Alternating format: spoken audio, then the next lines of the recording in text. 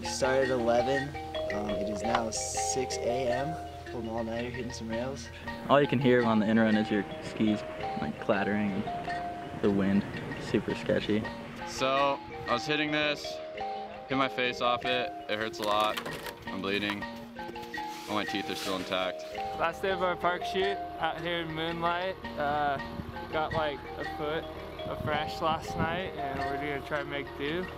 Have a little fun.